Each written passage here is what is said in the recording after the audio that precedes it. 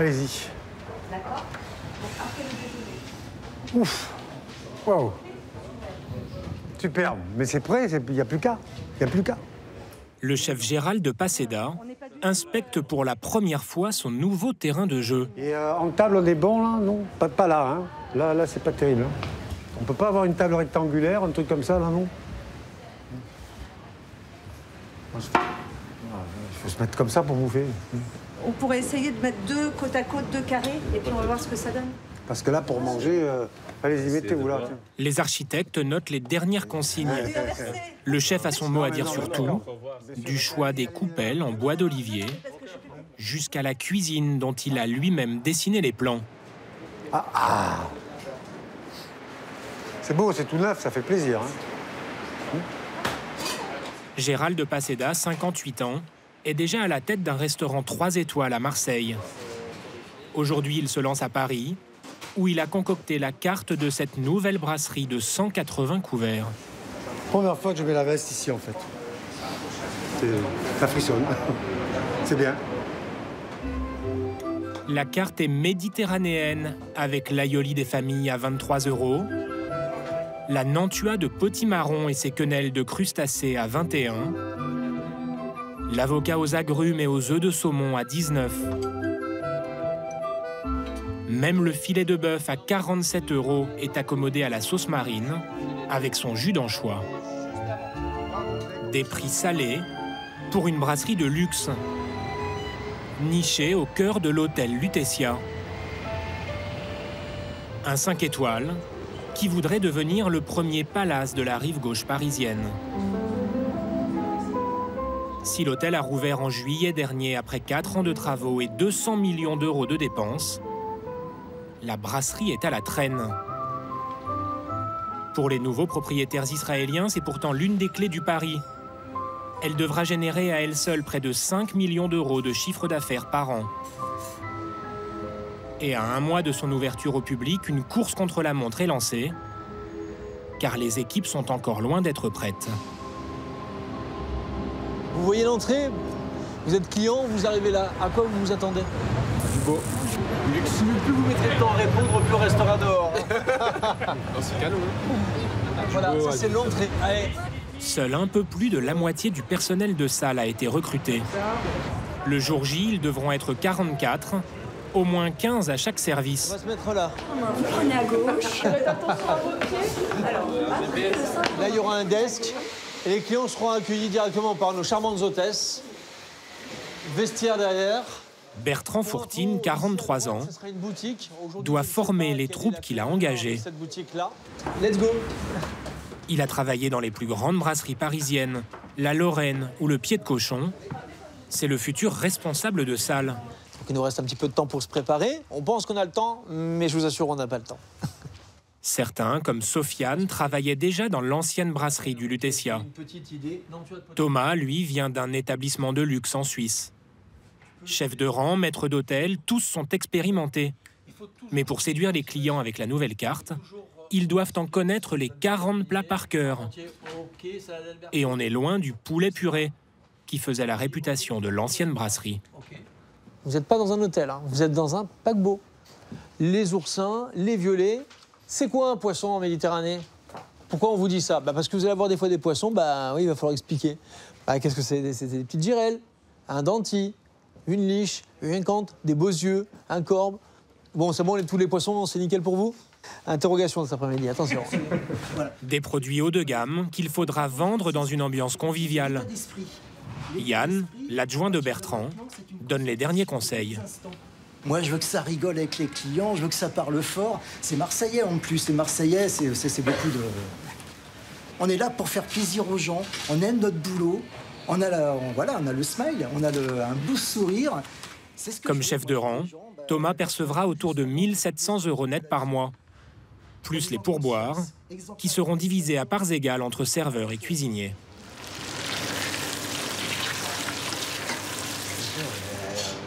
Le temps est compté aussi pour Gérald de Paseda et Patrick Charvet. On a, on dit qu'on arrosait Hier, comment on a dit qu'on l'arrosait avec le vinaigre de Banyuls. euh, Certes, avec un pinceau, non Patrick sera le chef à temps plein de la brasserie. T'as pas dit au pinceau C'est bon. Gérald de Paseda, lui, ne sera là que quelques jours par mois. J'ai mis 5 minutes en plus de pommes de terre. À trois semaines de l'ouverture, les soucis sont encore nombreux. Les fours tout neufs, par exemple, posent problème. La dorade royale est totalement desséchée. On a voulu tester le, le temps de température euh, avec le taux d'humidité de. Avec des fours neufs, c'est pas pareil. quoi. Il va falloir qu'on arrive à trouver la bonne précision. Après une nouvelle tentative, la dorade au four sera finalement retirée de la carte. Une cuisine ultra précise, mais aussi extrêmement rapide. On enchaîne, hein En brasserie, les plats doivent être prêts en 10 minutes maximum. Gérald de Paseda ne veut pas plus de 4 gestes pour les préparer. Oh là, c'est un peu trop de boulot. Pour la chair d'araignée et son jardin de la mer, 7 ingrédients à ajouter un à un, c'est trop. Une, deux, trois, quatre, cinq, six, Ah bah c'était ce qui est. Et en plus, après, il y a, il y a la tête. sept. Décemment, on ne peut pas dire aux personnes d'attendre 10, 15, 20 minutes, un truc, c'est pas possible. Voilà, le midi, quoi. On va nous trouver des astuces, et puis bon, là c'est très très beau, mais il y a peut-être l'astuce aussi de le monter à l'avance et de le mettre sur la spatule. Ouais, c'est ça. Hein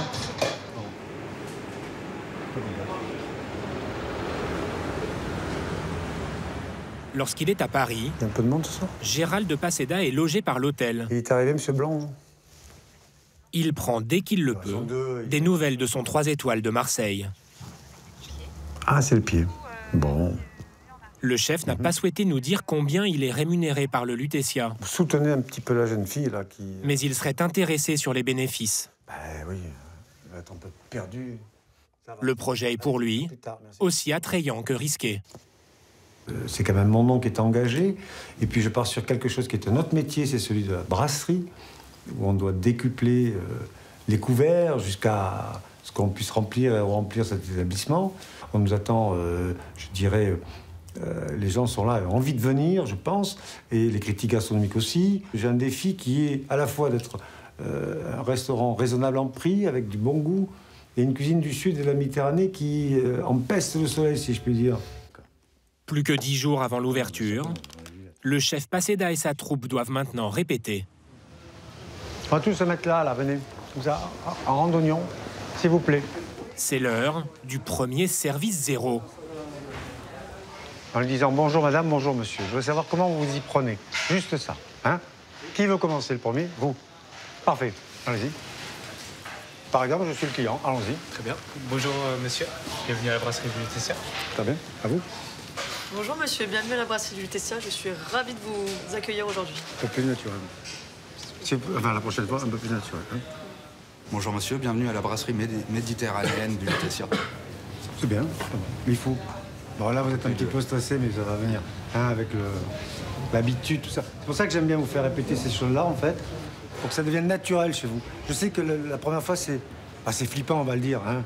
On est là, euh, j'arrive, tac. Hein. C'est super. Merci. Dans dix minutes, les premiers cobayes vont prendre place à table.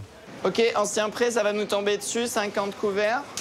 Allez, on prend du plaisir, on est concentré. On va se donner un petit cop. Dès que c'est à point, romarin dessus, d'accord? Comme ça qu'il y a plusieurs cuissons. Aujourd'hui, ce sont des salariés de l'hôtel qui dégustent. Alors mesdames, dites-moi, si vous ferait plaisir? Thomas s'occupe de la table du service compta. Alors moi je vais prendre euh, des des huîtres, Très bien madame. voilà. Et après je vais prendre, euh, c'est pas marvin, mais je vais prendre un filet de bœuf. Par contre, j'aime pas le jus d'anchois. Vous n'aimez pas l'anchois? Non. Vous voulez que vous mette la sauce à côté madame? Oui, s'il vous plaît. La touche de Méditerranée dans le filet de bœuf n'emballe pas Claudine. Le chef doit s'adapter. On a un filet de bœuf euh, saignant, soit ça part, pas d'anchois, garniture légumes. Filet de bœuf sans anchois, ça vous énerve Non, pas du tout, non, non, non, c'est un choix, non. Non, mais il faut qu'on s'y... C'est bien, justement, de le savoir. Ça va pas plaire à tout le monde, donc il faut qu'on se mette euh, en place pour avoir ce qu'il faut. euh, Et pas qu'on essaye de bricoler, quoi. Très particulier. Délicieux. Ah ouais, non, c'est super bon. C'est super bon. J'ai jamais eu un, un retour de goût comme ça sur une huître. Je vous ferai pas goûter parce qu'il y en a que deux. Donc euh, c'est très bon. Je peux quand même permis de vous rajouter la sauce Oui, goûté. pour goûter. Parfait. oui. Très bonne dégustation. Merci bien. C'est chaud. Tu l'as prise comment ta viande? En cuisson Saignant, saignant. C'est surprenant, hein Ouais, c'est surprenant. On sent pas, on sent pas le. On sent pas Tu sens pas le, le, le, le, le- le salé euh, qui est parfois un petit peu désagréable de l'anchois Entre salle et cuisine, l'information circule parfois mal. Un chef de rang est complètement perdu avec son plateau.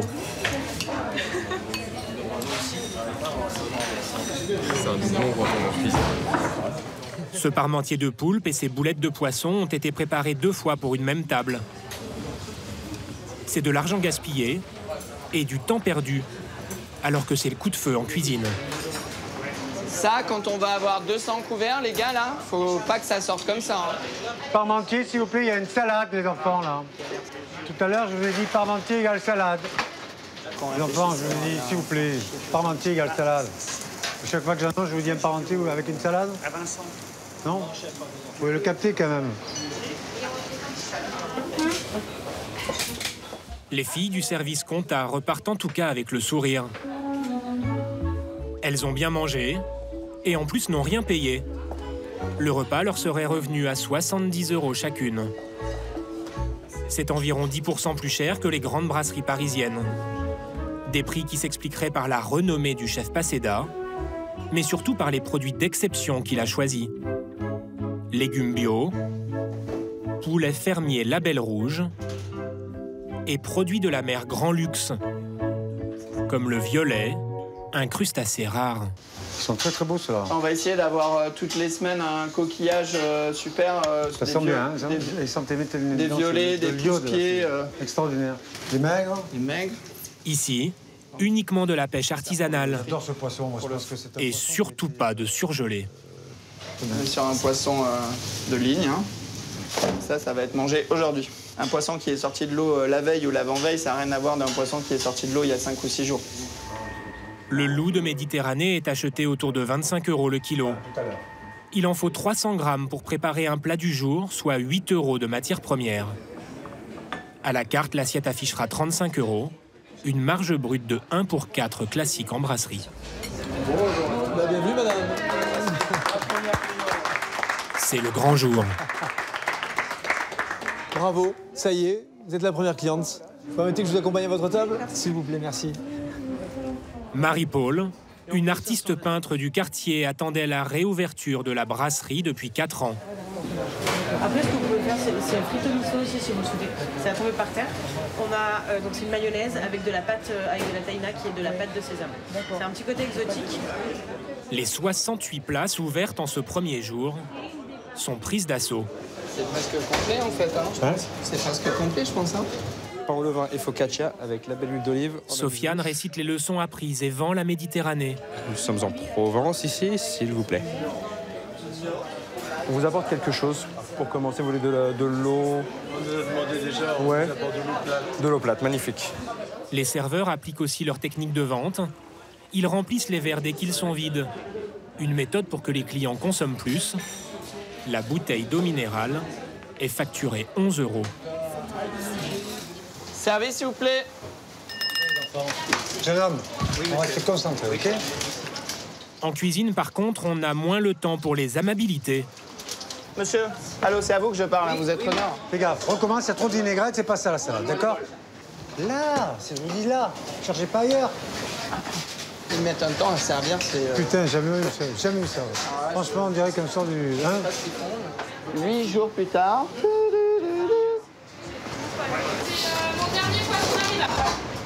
Il est à peine 13 heures.